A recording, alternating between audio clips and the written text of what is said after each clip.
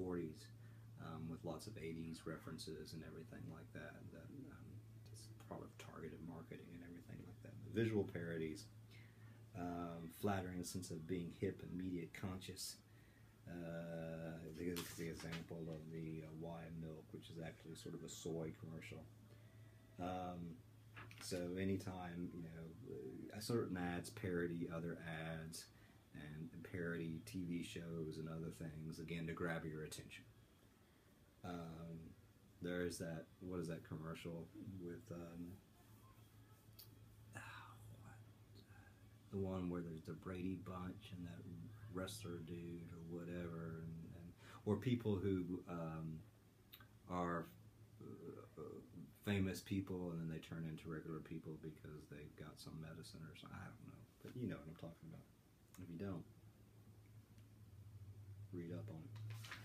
Um, direct eye gaze is another way of attracting attention. If people are looking at you, we want to look at them, or we, you know, we feel like we need to give them our attention. Uncle Sam, I want you to join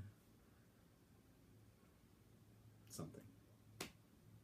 Uh, so people when they look at you, but there's also other things like the male gaze, um, which is looking particularly at male, female bodies uh, in sexualized ways, and, and there's lots of there's stuff in here about uh, all that stuff uh, later on in the chapter. But we all know that uh, commercials and all sorts of television shows and everything like that are going to have certain camera angles uh, where they highlight certain body parts of women and, and basically puts you in the position, whether you're watching television or whatever, as a, a junior high uh, boy gazing upon cleavage.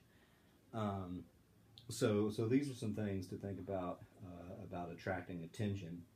Um, and then, you know, part of all this type of stuff um, is, uh, and they and they also talk about how they moved to ELM, and Timothy talks about how uh, both of these cases are sort of the peripheral route or peripheral cues.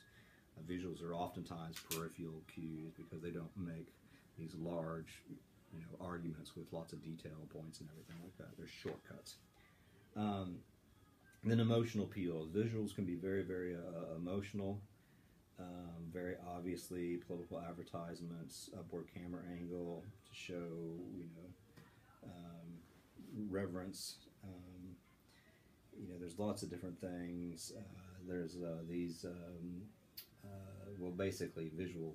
It, think about emotional appeals as visual pathos, right? You know, the uh, the uh, ter- terribly difficult to watch uh, shelter uh, commercials, dogs and stuff with Sarah McLachlan singing in the background and saying stuff.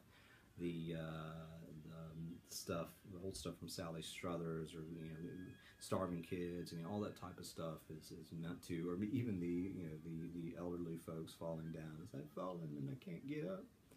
Um, and uh, so it's sort of these emotional things. But camera angles uh, uh, do that, um, and there's actually there's those camera angles, uh, particularly when we're thinking about making emotional appeal, can do uh, do all this type of stuff.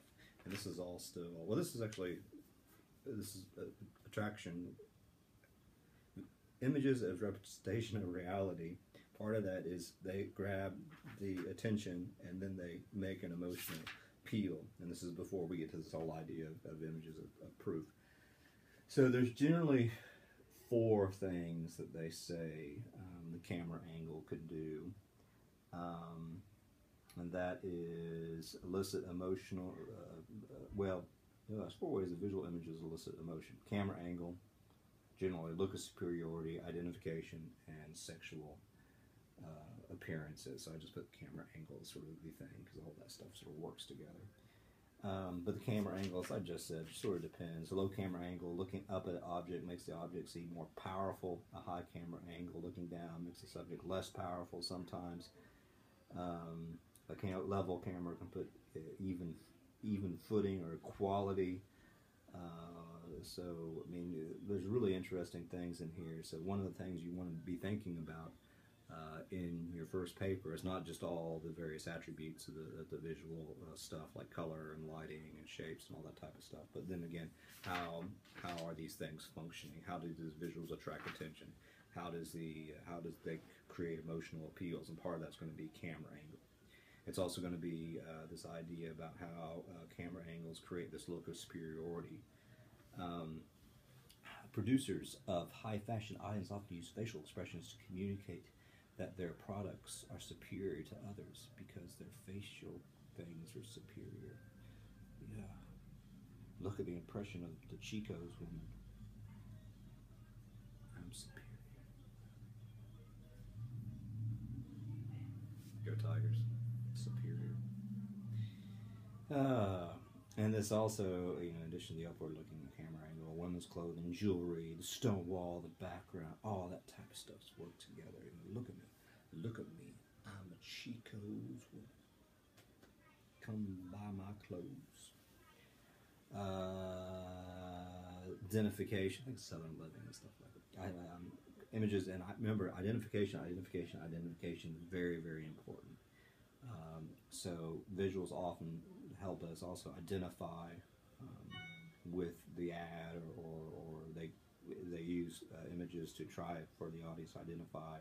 We still feel bonds. We are one with the person. We like the person, whatever that might be. Um, and have models and all sorts of different things. So we we want to be like those people. Um, but one of the things that we've seen a lot of commercials lately, um, I think they have more social messages, uh, whether it be the Bud Light and the, uh, the, it was a sort of a controversial commercial of the Bud Light um, uh, at a, a, gay wedding, um, the uh, the big controversy over the uh, cereal with the two dads. Um, but oftentimes it's not it's, it's, visual, but it's also the message. You know, if you identify uh, with those sort of um, social issues, uh, you will perhaps want to go buy those products. Um, but there's lots of things about visuals and identification. Um, so we want to be like that person. We identify with that person. Um, and then finally, sexual appearance to elicit a response from viewers. Uh, da, da, da, argues that both men and women are drawn to attractive images of models. In addition to sexual appeal ads featuring naked or scantily clad human bodies communicate status and ideas about beauty. And it constructs, this is where I was talking about the whole problems with reality. You know, are, are these the people who are really the real people out there? When you look at perfume or cologne commercials or, or these random commercials like the Hardee's commercials who are using sex to sell burgers. These aren't real people. These are people who are weird. Um, but you know, they they give us they construct for us a certain standard of beauty, which is unbelievably problematic. Um, which is one of the reasons why, like the Dove campaign for real beauty was lauded but at the same time, there were some problems with that because most of the models on those things were still mostly naked. And then you had to buy a Dove product in order to be clean and look good. What if, what if, you know, you wouldn't have to? What if, you know, the natural for women would be no makeup at all? At all? Why do you feel like you have to wear makeup makeup for a woman? I don't wear makeup. Sometimes I do. But it's just fun.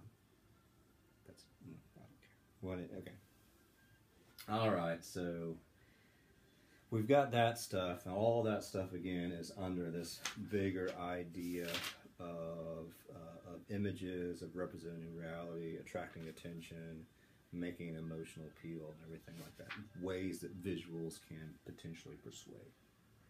Images as as proof proof of, of, of the, the, you know, whatever argument that you are making.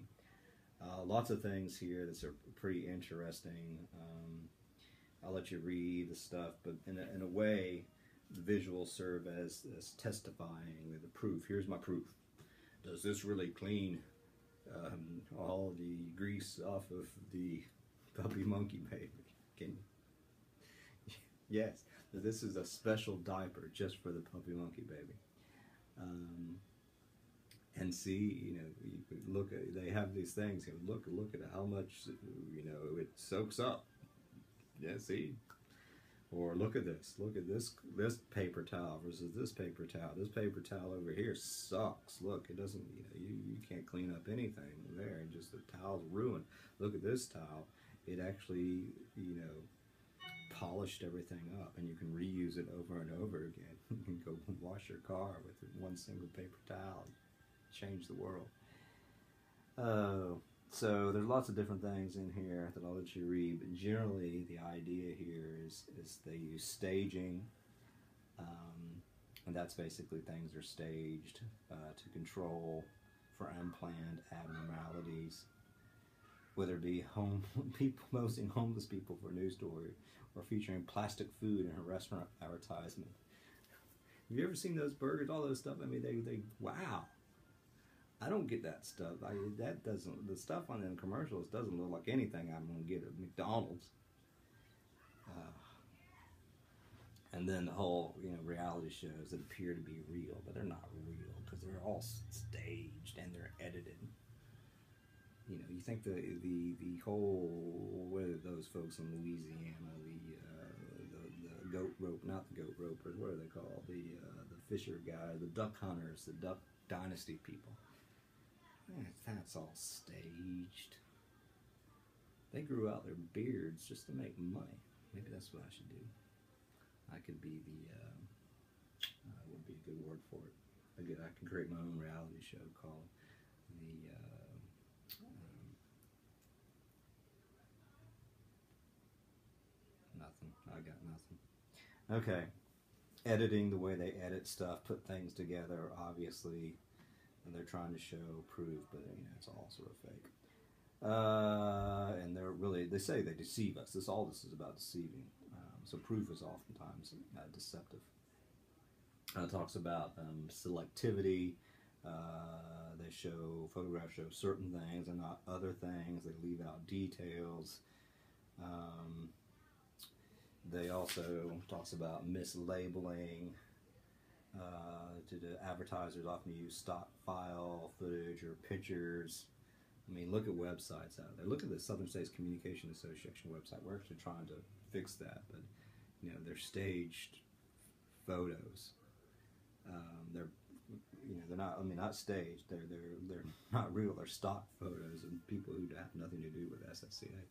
Um, thankfully, one of the things that our college does uh, with all our paraphernalia or all our um, website stuff like that, they're real Columbia College people, not just stock photos. That's good. That's important. Now, of course, the new stuff I think about that you see on the website about the new nursing program and all that type of stuff, completely stock photo. Do you think these are real people in our program? No, I think somebody just found a picture of nurses someplace and put it on there. Okay. Um, and then we have this uh, idea of image as argumentative claim. Um, so there's not a whole lot of information here in this particular area, but basically it's just um, how visuals are arguing uh, or making a point. How they have a thesis.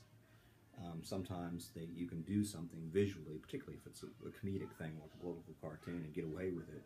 Uh, when you it would be difficult to actually say it uh, for more of a, a verbal sort of thesis kind of way. Um, so I'll let you sort of read that. Um, but um, what's really important uh, in this section, before we get to some of the other stuff, um, is that uh, this is some of the stuff that I want you to be thinking about and writing about in your first paper. Not not just about you know here. I, I, don't want you just to describe the different uh, stuff that you see in your commercial. I don't want you to say, okay, I see these colors. Mm, that's cool. Or I see these uh, this form. I see this type of lighting. This is type of. These are movements. Blah blah blah blah blah.